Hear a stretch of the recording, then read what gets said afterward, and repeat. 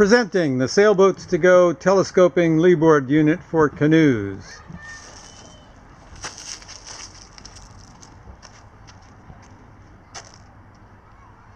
With quick release ends, right? You just push this button and the end comes right off and you can store your leeboard just like that with a little stubby end on it. You don't ever have to completely unscrew this knob so it's going to save you a lot of time and be very convenient. Telescoping so that it adjusts to fit the width of your canoe wherever you want to mount it. Obviously a canoe is narrow at the ends, wide in the middle. This telescopes way down to 30 inches, way out to 4 feet. And you just telescope it out enough so that the leeboards will clear the canoe back here at the tip when they're swung up. And then lock the telescoping adjustment by tightening these two little star knobs in the middle. It comes with two gunnel clamps that attach it to your canoe. No tool installation, just tighten these hand knobs and clamps it right on. If the gunnel lip on your canoe is on the outside, no problem, just take the gunnel clamps off, turn them around, and put them on the outside. I say turn them around because you want the long leg of the L bracket bearing on the underside of the crossbar and the short leg of the L bracket of the gunnel clamp bearing on the underneath side of your gunnel lip. I'm showing them here with the unbreakable premium quality polycarbonate blades. Those are the white ones unbreakable and lighter. We also sell it at a lower price with phenolic leeboard blades. And the phenolic are a bit heavier and they're pretty rugged, but they're not unbreakable. If you really smashed it on a rock, it would crack. So there you have it, the Sailboats to Go telescoping leeboard unit with quick release ends and either polycarbonate white blades or black phenolic blades at a lower price. Now let me talk a little bit about why you would want to have a leeboard unit.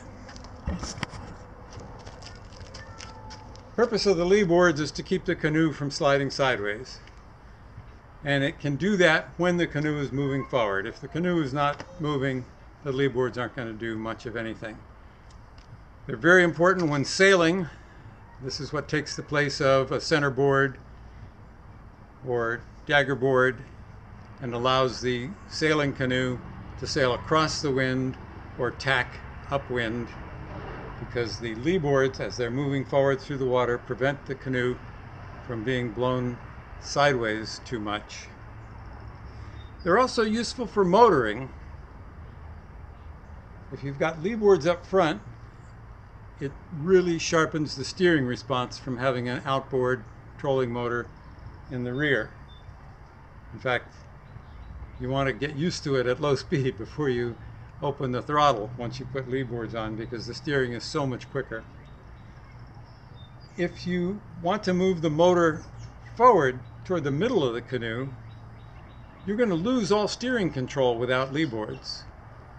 Because think about it, the way a motor steers the canoe is by pushing the rear of the canoe in the opposite direction from how you want to point the canoe to make your turn.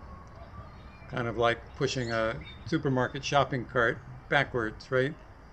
You turn that motor, it pushes the rear end of the canoe out, points it in a different connection direction. But if the motor is at the middle, when you turn the motor, all it does is slide the canoe sideways unless you've got something up front that prevents the front from sliding sideways. If you've got the lee boards up front, then that's like a stake in the ground that keeps the front from sliding sideways. And when you turn that motor to the side to make your turn, it swivels the canoe just as if the motor were at the rear.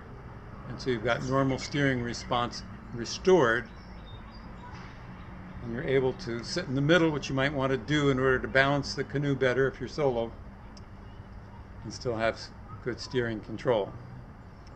So that's why you want a leeboard unit, even for paddling.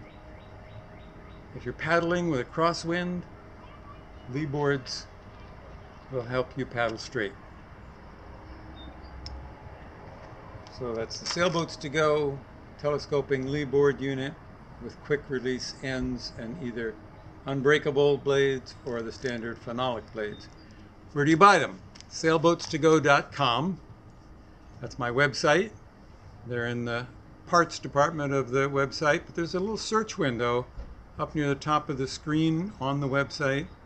And if you just put leeboards in there, then search will come up and show you all different leeboard products and you'll find the one you want that way or you could put telescoping leeboard unit something like that in there and that should bring it up.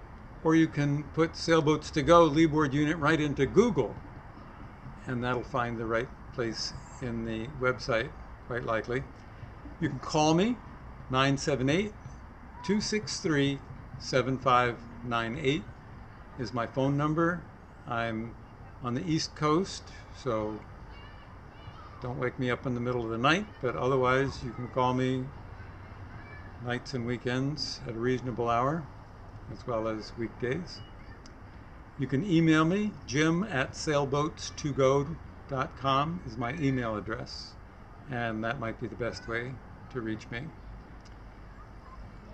Sailboats to Go is just standard spelling, sailboats, S A I L B O A T S to go T O G O just like a hamburger hamburger to go or a pizza to go this is sailboats to go because our whole thing is making sailing extremely portable